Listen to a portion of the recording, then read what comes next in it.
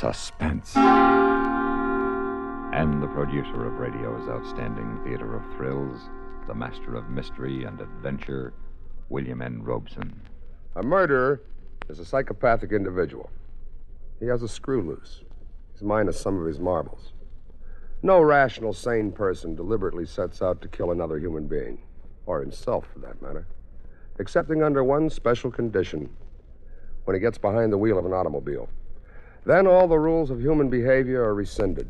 Anything can happen, and with tragic frequency, does. The mild mannered Mr. Milquetoast becomes an angel of death.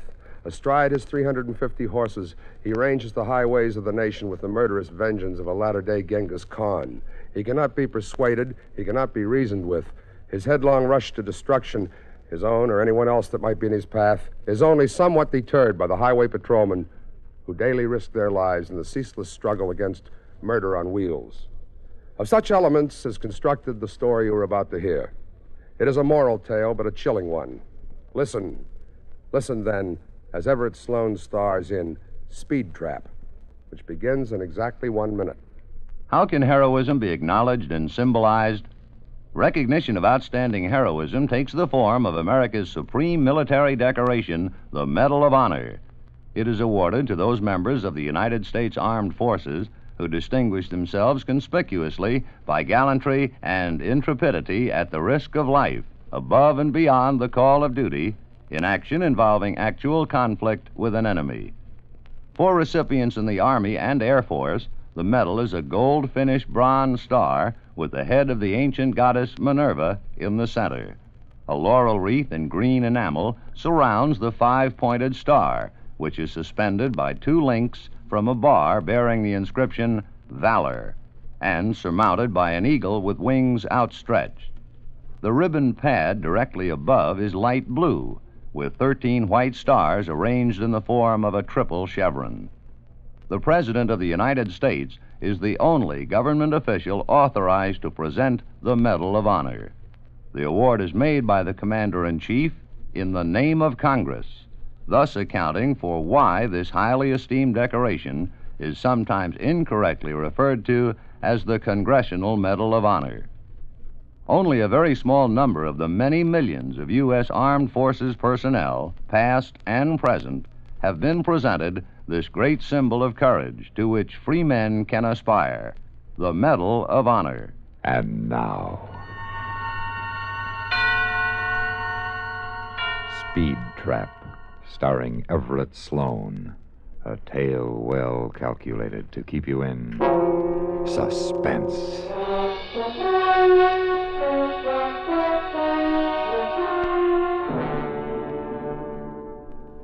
Sometimes it takes you years to get to know a guy. Sometimes on the highway patrol, you learn all about a man in 10 minutes. Like the night Craig Hollister checked me out on my new beat. Now, there's a soft shoulder here, right? I didn't answer him. I was too busy sweating the grade. The wheel was easy in my hands. Too easy, like it always is on a slick highway. My headlights caught the rain and sleet slanting down from the pass. Hollister wiped the mist off the windshield. I thought of loosening my collar, but I didn't want to make a bad impression on him. I knew he was a good patrolman. They'd told me at headquarters. Well, good patrolmen go by the book. I wiped my hands one at a time and changed my grip on the wheel. There's a curve coming up. I don't see why they need us on this road. A driver'd be nuts to go over 30. Uh, people speed anywhere. This turn's called the corkscrew. It's awful slick in the rain. I found four kids here in a station wagon after the last storm. What was left of them, anyway. Well, brother, I'll take this one in second. There's another rough curve coming up. We've had three fatalities here this winter. I don't know if I'm going to like this, Pete. that isn't bad. Once you get used to the blood. You say you actually catch speeders on this highway? Yeah, that's how I met my wife. She was speeding along here. Oh, that reminds me. Dispatcher, this is 3022. Go ahead, Craig. Say, Joe, will you call Debbie and tell her to pick me up at headquarters? Okay. You better get down here before she does. A doll like her isn't safe around me. you old relic, she could break your arm. uh, Joe. Yeah. It's awful slick up here. Tell her to take it easy on the grade, will you? Ten four and a half. Well, this was pretty good. You wanted your wife to meet you, you gave the dispatcher a call on the radio. That was something they hadn't taught me at the police academy. I sure hope she doesn't try to break any records. Not tonight. You say you caught her speeding on this stretch? Yeah. She was roaring down the grade with her car full of summer tourists, all of them tanked to the eyeballs. Including your wife? Well, I thought so. I wrote it up that way. Yeah, then what happened? Now, the judge thought otherwise. Debbie cried, and her father had just given the county a new library, so the judge decided that she'd never had a drink in her life. And there wasn't a dry eye in the courthouse. And you married her. Yeah, the best thing I ever did. I think. You think? Oh, today was our anniversary. I couldn't even spend it with her. She's been up there on the mountain alone all day. That's tough. And this beat's kind of lonely for a woman. Debbie says she doesn't mind, but I think she's bored. Well, here's a good spot. Pull over. Pull over? Yeah, we'll wait here and follow her down. Well, why? Well, sometimes she still drives this grade too fast, all right? With us in back of her, she won't take it easy. So I pulled over, of course. I was tired, and I was trying to get my own wife moved into our cabin, but the man said pull over and wait, so I pulled over and waited. I lit a cigarette. In the flare of my match, I could see he was squinting up the road. This joker was worried about something. He caught me looking and seemed kind of ashamed. Huh? Oh, oh, uh, uh, she'll be along in a minute. Sure, no hurry. But, uh, you can't follow her everywhere, you know. Look, Art, uh, I'm getting a transfer, and Debbie and I'll be out of these mountains in a week. It's slick tonight, so it's okay with you, partner. Oh, sure, sure. Sorry. Hey, what the? What's the matter? Look at those headlights up there. I twisted around in my seat. Half a mile up the grade, a pair of headlights stabbed over the cliff, seemed to hang there. Hollister gripped my shoulder. The light straightened suddenly and got brighter and brighter. The guy was practically flying. Holy smoke! Hollister was big. He didn't look like he could move very fast, but he was nothing but a blur jumping out of the patrol car. He was around the hood and swinging a flashlight in circles before I could even turn on my red light. The crazy headlights seemed to reach out at him. Hey, you crazy! Wait! Hey, you okay, Hollister? Yeah. Well, let's take him. Holy cow, I thought you'd had it. Close, but no cigar. He must be plastered. Did you get his tag? The lights blinded me. No, I could just see it was a black sports car, that's all. Looked like a Jag. A jag? Yeah. Aren't you going to call the dispatcher? Uh, no, no. Pappy ought to be parked near a halfway house. A jag, huh? Hello, 2429. This is 3022. It was a Jag, all right, and I'd caught a flash of the driver. It was a woman driver, young, blonde, with a crazy grin on her face. I felt sick. I'd picked up the pieces after a few wrecks down in the valley. Go ahead, Craig. It's bad enough when it's a man, 2429. but a young is girl. 3022. Pappy, we're after a possible 502, three miles north of halfway house. He just about ran me down. Now be careful, huh? I'll try to take him. Ten four. Her, not him. Make this curve tight, Art. What'd you say? That driver, it's a woman. A woman? I think so. Oh. After this curve, you can cut loose for about 800 yards, and then try to get me close enough to spotlight her license. Hang on, partner. Holy smoke! Be careful! Can you get the number? Oh, the plate's covered with mud. She must have dragged a wheel on the shoulder. Maybe on the next stretch I can try again. No, we don't need the number. What do you mean? Well, you saw the car, a black Jag, you said. Yeah, A girl driving, you said. yeah, why? Well, that's gotta be Debbie's car. It's gotta be my wife.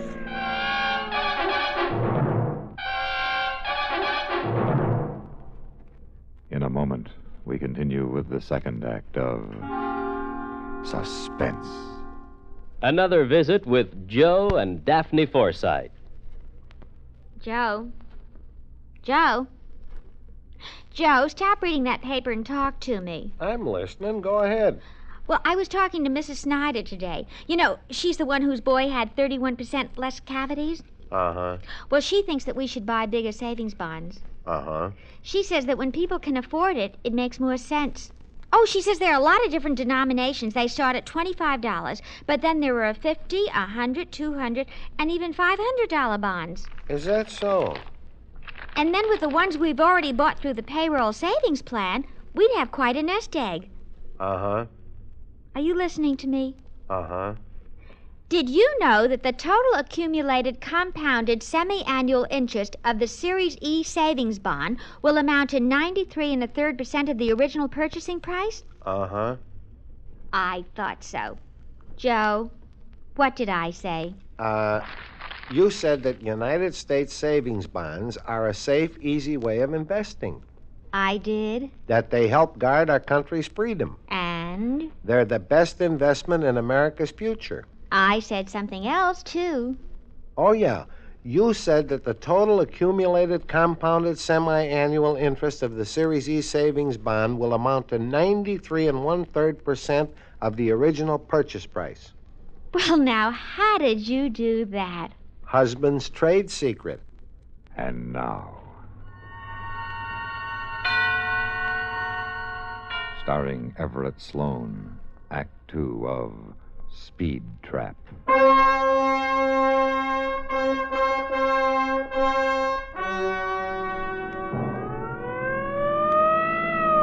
I stared at the guy beside me in the patrol car, then whipped my eyes back to the slick mountain road. So you think that's your wife? Yeah, it's gotta be. Oh, look, there are probably a hundred Jags on the highway tonight. Why does this have to be your wife? You wouldn't know, and I haven't got time to tell you. Well, why would she try to run you down? She doesn't know what she's doing, Art. What do you mean? She's fried. She wanted me to take her out tonight, but I had to show you the road, so we had a fight. She must have sat around and got plastered, I guess. Well, she's gonna roll that thing, and that'll be it. Are you sure it's her? yes, her? I'm sure. I can see it coming, alone in that house every day. That's why I put in for the transfer. But now it'll be too late. Art, we've got to catch her. Try to get her before Myers Curve.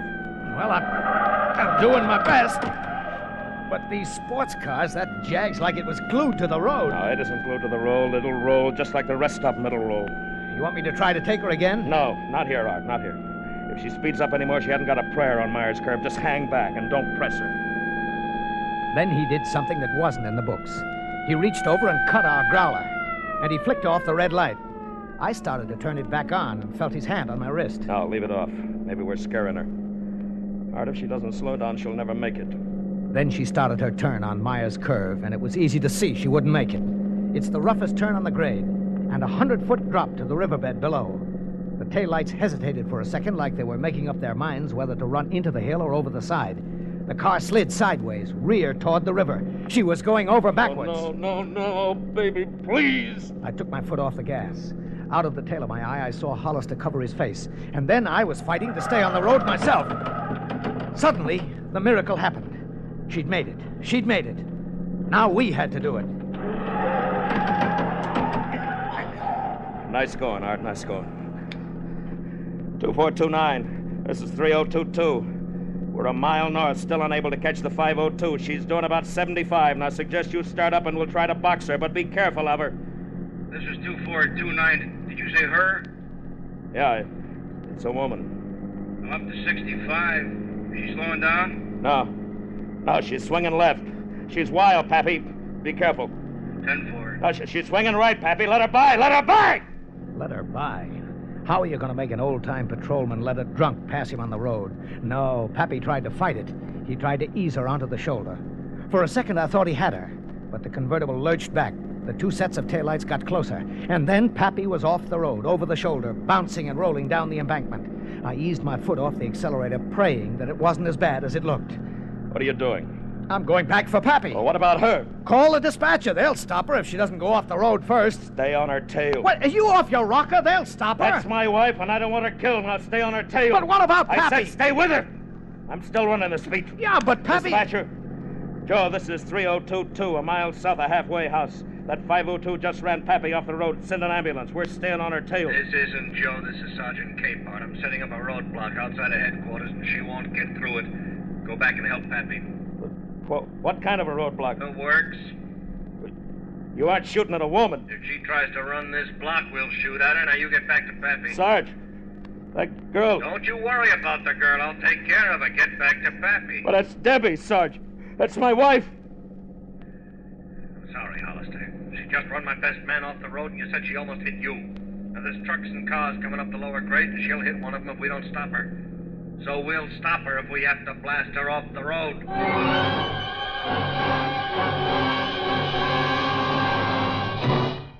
In just a moment, we continue with the third act of Suspense. We have together ample capacity and freedom to defend freedom. This is NATO, the North Atlantic Treaty Organization.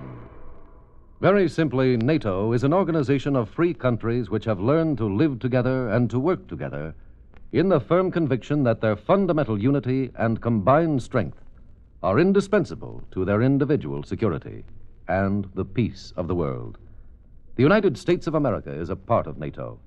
You should be aware of and alert to the objectives and programs of the North Atlantic Treaty Organization. And now, starring Everett Sloane, Act Three of Speed Trap.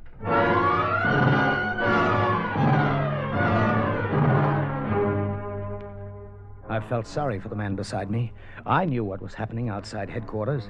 A couple of patrol cars rolling into position, spotlights pointed up the grade, the guys drawing automatic rifles and maybe shotguns, flares set out further up the hill, a reception committee for Craig Hollister's wife. Not what he'd planned when he'd asked her to meet him at headquarters. But there was nothing I could do. I slowed down carefully.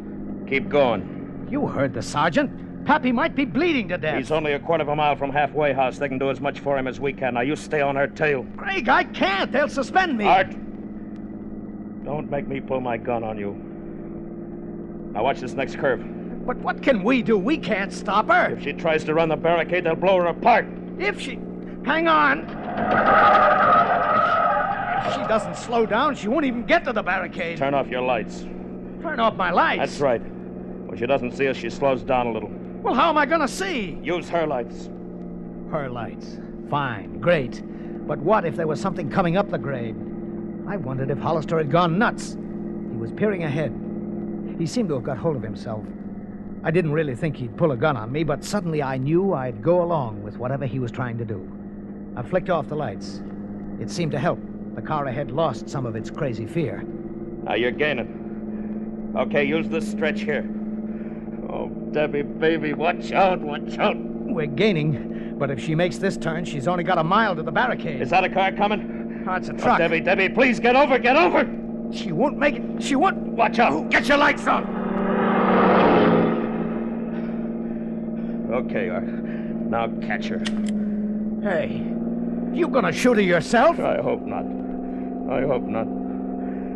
Look, you have to get closer. I'll never do it from here. Closer, the man said. I was already pushing 80, and the range was still too far unless he was aiming for a lucky hit or an unlucky one. You gotta catch her by that stretch in front of headquarters. Right. If he was going to shoot out a tire, it would have to be there, the only level shoulder on the grade. But that was where the barricade was. Well, we just have to get her this side of it. Hollister rolled down the window, and I felt a spray of rain on my face. And suddenly I saw the barricade spotlights. She's slowing any? Now, putting on speed. But I can't wait any longer.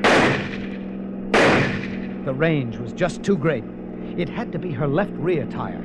If she went off the other way, she'd be killed. But she was just too far away. Suddenly, not really wanting to, I jammed down the accelerator. The rear end swayed and lurched. My hands were sweaty with fear. Thanks, Art. And that did it. The convertible began to turn, hesitated, and headed for the shoulder. It leaped when it hit the dirt, half turned. Debbie!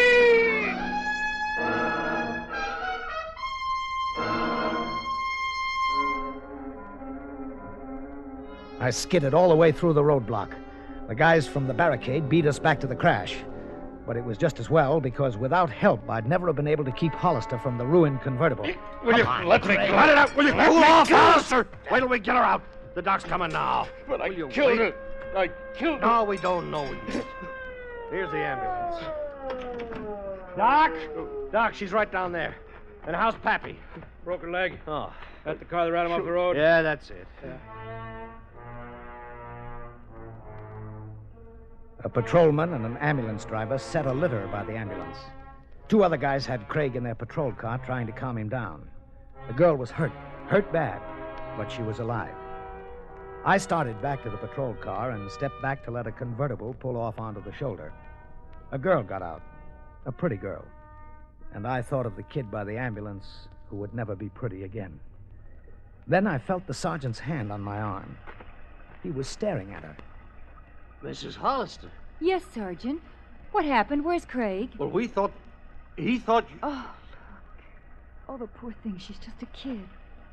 Yeah, but she figured she was old enough to get fried to the gills and make that grade on a rainy night. Your husband saved her life. How? Oh, he and Art here almost broke their necks catching her. I'd have blasted her to pieces. Where's Craig? Is he all right? Debbie! Oh, Debbie! Oh, Debbie, honey. What's the matter, darling? Oh, Debbie, it wasn't you. I, I You better thought that... skip it, Hollister. No. Oh, no. Debbie, you, you ought to know. I want you to. Debbie, I, I, I thought the girl was you. Me? Why me? Well, it was the same kind of a car and the speed. Oh, I see. And it could have been me, couldn't it? A long time ago, maybe, honey. A long time ago.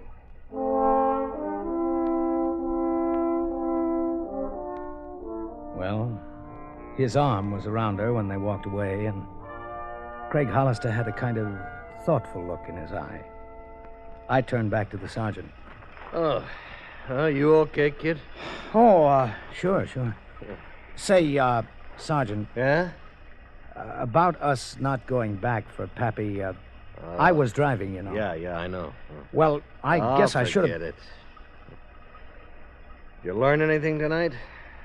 Yeah. I learned a lot. And, Sergeant, you know what? What? I think Hollister did, too.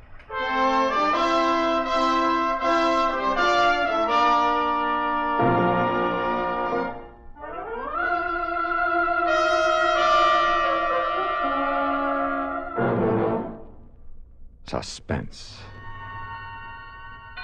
In which Everett Sloane starred in William N. Robson's production of Speed Trap by Hank Searls. Supporting Mr. Sloane in Speed Trap were Ellen Morgan, William Conrad, Jack Kruschen, and Lawrence Dobkin. Listen. Listen again next week when we return with another tale well calculated to keep you in suspense.